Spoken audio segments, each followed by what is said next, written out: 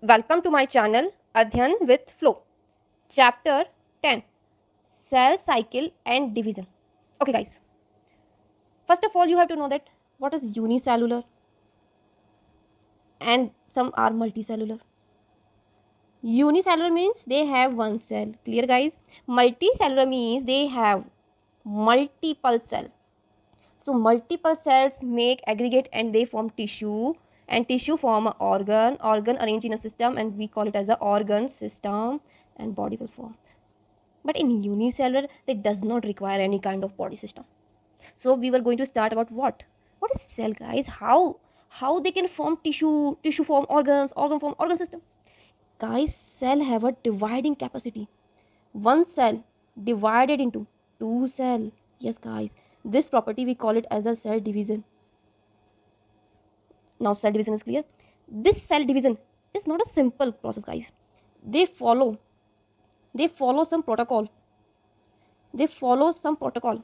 They follow some cycle. Then they can divide. All right now you clear? Now i think you clear guys. So cell cycle. Cell division is a very important process of in all living organism we know this thing now. Cell division important. So one cell divided into two cell two cell divided into four cell. And if we talk about egg and sperm fusion they make zygote. And zygote will divide and make blastula. Blastula goes divide and they make what? Gastrula. So yeah division or divide division divide hona both are different way. They divide according to this way simple manner and they divide according to this way. Okay. During this division of a cell dna replication cell growth also take place. I'll discuss further. We will discuss further. All these processes cell division, DNA replication, cell growth means some protein formation. Everything followed in cell cycle. After cell cycle, they complete their protocol, then cell divide. So, cell cycle divided into two parts. Look at here, look at here, your diagrammatic way. I know this is not a clearly visible. I'm zooming here. Your cell cycle divided into two part. First is interphase and second is M phase. I told you now first is interphase This yellow portion, these are the interphase longest time taking. We can also call it as a preparatory phase. Okay. Now they take 23 hours for preparation and M phase take 1 hour. Okay. This is the property guys. One by one I'm telling for you. Okay. You know na guys, you prepare for NEET you prepare for IIT JEE. You give your lots of time, guys. You give your lots of time. But exam time is exam is two to three hours. That's it. And you give your whole two to three years for preparation. But when you perform, two to three hours is enough. That's it. After preparation, guys, when you fully prepare, then what do you think? Then what do you think? Anyone can stop you? No. If you prepare, then cell become divide. So first of all, let's start with G0 phase. This is the quiescent phase. No, no preparation, no preparation, no cell growth, no dividing capacity not present in here. They are still in quiescent phase. This cell goes into G1. Now what happened in G1? Here is maximum, maximum, maximum preparation is occur. Next maximum preparation going to occur. How? Like we know now, for cell division, we need lots of protein. So protein will formed here.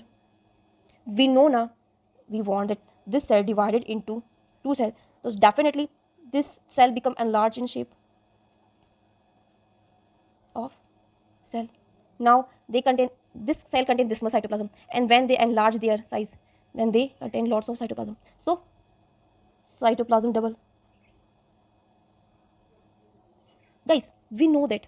We know that uh, in s phase dna replication this process going to occur but guys, for DNA replication, there are lots of enzyme required. So enzyme also formed in G1 phase. They require, during DNA replication, they require lots of, lots of enzymes. So they have to prepare all the enzymes, guys. One cell contain less number of mitochondria, less number of Golgi body, but here they make large number of cell organelle except nucleus. Large number of cell organelles. They make okay okay not in s phase. Wait wait wait wait guys. In s phase still in s phase there are lots of protein formation related with cell division some protein related with only for g1 but some proteins related with other cycle s1 also g2 also m phase also. G1 made this. Now maximum protein maximum protein inactive in form. Yes guys. Guys this is the g1 phase. And those protein which are responsible for g1 only those protein will activate and rest of remain inactive form because that protein does not have any kind of work. They perform according to their cycle. They perform according to their cycle. Okay? S phase protein activate in s phase g2 protein activate in g2 phase and g1's proteins activate in g1 phase. In g1 phase protein activate and rest of the protein inactivate. In s entering in s phase so s phase protein is activate and remaining are inactivate. If cell is enter in G2 phase, so G2 phase protein is still activate and remaining are inactivated. If protein enters, if cell is entering M phase, dividing phase, so dividing phase protein are activate and rest of the like G1, SG2 all are the inactivated time. So at a specific time, at a specific cycle, protein will activate and remain are inactivate. Now you can better understand. Now in S phase, there are duplication of DNA. Look at me guys. This is the DNA double helical structure this one dna this is dna not enough for one cell. This is not enough for two cells this is the cell guys. One dna is enough for them. But this size they're not satisfied with one single dna so they replicate their cell. For replication they split their double strand. This this strand and below this strand. Now what they do? They self replicate so their protein bind and activate them. Here protein activation and they bind and they activate. Clear guys? Now clear after dna duplication. If they want that rna also formed here. So what they do they again split they again split.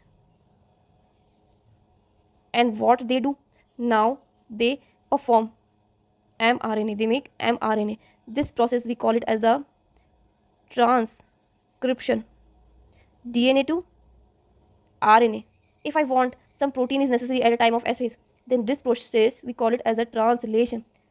So if when mRNA will form, if when mRNA will form, ribosome come and some enzymes are come and what happen? Protein will synthesize in a polypeptide chain. Protein. So this is the S phase role. This is the S phase role. There are centriole also divide centriole also divide in this phase and this phase also same centriole divide centriole form. Also if they require any kind of less of protein they also uh, made up made protein. Here guys i'm writing here na, protein. These are histone protein. Histone protein look at me guys. What is histone protein? They are present in octamer. Look at me guys. They are present in octamer. Okay?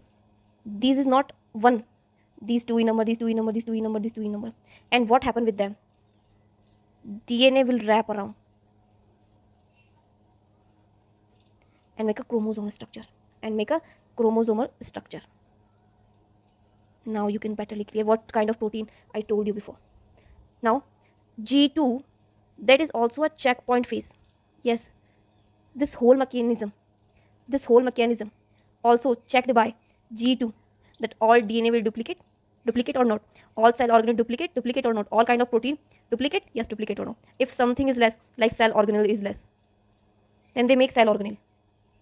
Make cell organelle. If cytoplasm is less, they make cytoplasm. Now they check everything. They check everything before entering in M phase. Now after entering in M phase, the role of interphase is over. Now they start dividing and they face some prophase. Here is DNA coiled in form metaphase they arrange in metaphasic plate anaphase then they segregate segregate towards the different different pole. Look at here. Look at here guys. I'm detailed explanation. I explain everything. Don't worry. At different different pole. And telophase they occur at different pole. And now last. Nucleus will divide. This is the one cell and nucleus will divide. And cytokinesis cell is divided so they make two cell. This is the overall value this is the overall the value of this flow chart. Now i'm gonna start. I'm gonna start one by one. Okay g1 phase.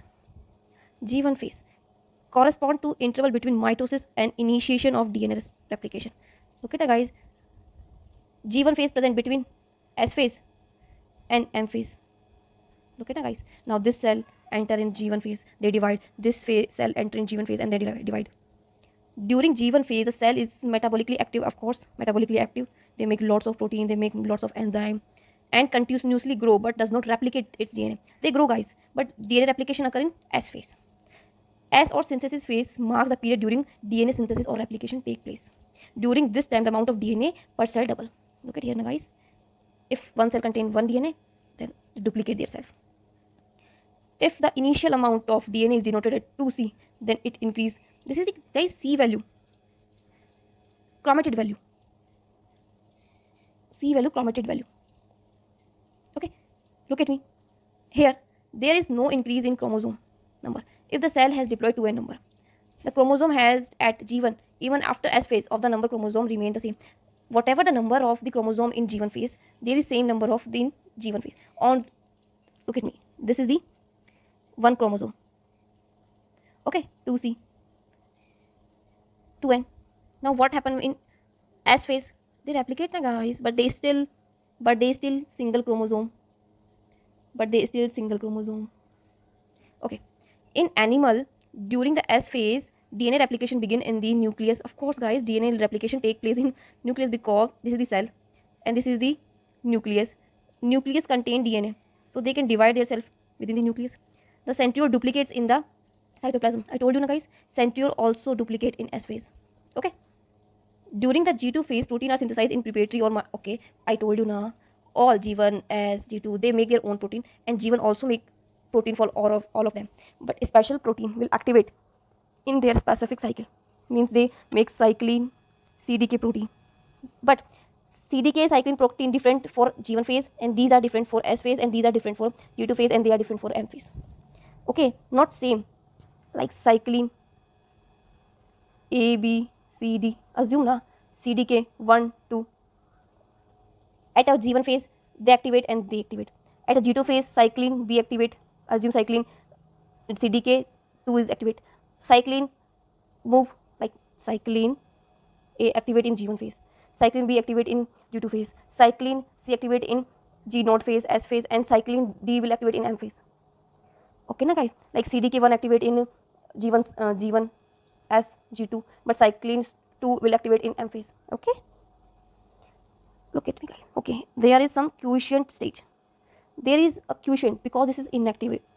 There is no division, no preparation, no growth, no dividing power, nothing. Okay, they are exist in C phase only. They do not do anything. They don't do anything, guys. In animals, mitotic cell division is only seen in diploid somatic cells. Yeah, guys mitosis seen in different cell and meiosis seen in different cell. I told you. Further i will teach you everything. So this is this is guys all about introduction of interphase tomorrow in our next video we will discuss about m phase because this is long now this is not a 15 minute explain. Okay this is long. All right m phase we will talk about in our next video. So thanks guys. Thank you for listening me giving me time. Keep smiling and revise revise revise revise. Thank you